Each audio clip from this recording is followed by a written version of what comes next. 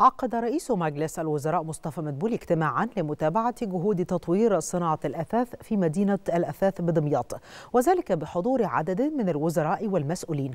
وأشار رئيس مجلس الوزراء إلى المتابعة المستمرة للجهود القائمة لتطوير مدينة دمياط للأثاث لتصبح مدينة صناعية متكاملة في ضوء ما تمثله محافظة دمياط كقلعة من قلاع الصناعة المصرية المتميزة في هذا المجال. شهد الاجتماع استعراضا لمختلف مراحل تنفيذ وتطوير مدينة الأساس وفقا لأعلى معايير الجودة والاحتياجات التصنيعية واللوجستية والخدمية.